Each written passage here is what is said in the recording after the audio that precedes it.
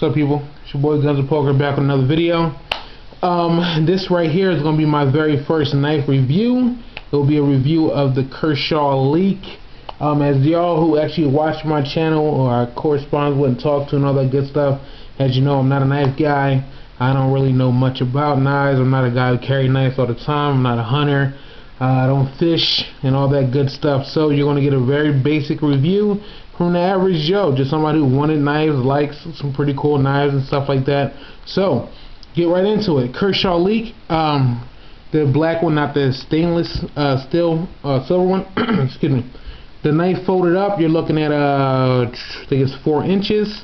Uh, blade out, you're roughly three inches. I believe the blade is a 440 stainless steel. Um, it does come with that SpeedSafe assisted opening. You can open it from the top, like so, or you can open it up with the thumb stud, like so.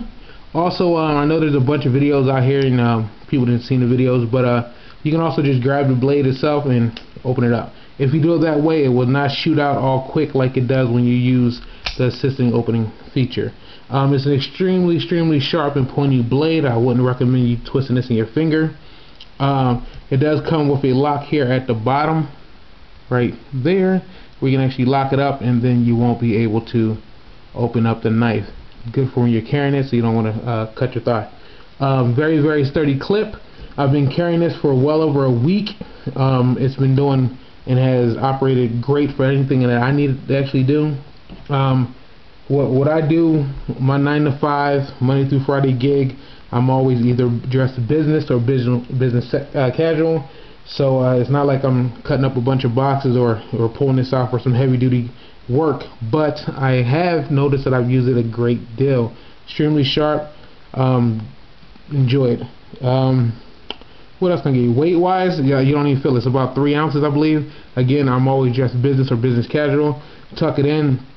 I don't even know it's there. Uh, only time I know it's there is when I actually need it. Other than that, feels good in the hand. You can get a good purchase on it. Open it up. Again, opens up fast. Uh, you have a little stippling right up here. So if you actually needed to, as you can see, get your quote-unquote groove on, you could with those grooves.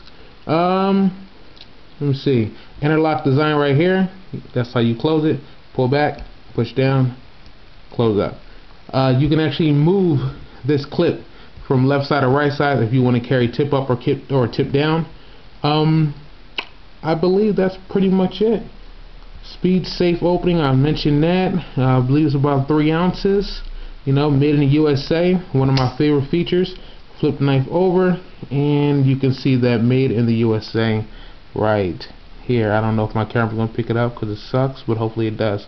Uh, to me, that's one of the best options about it. Um, it's designed by Ken Onion. Uh, he does a great deal of Kershaw knives.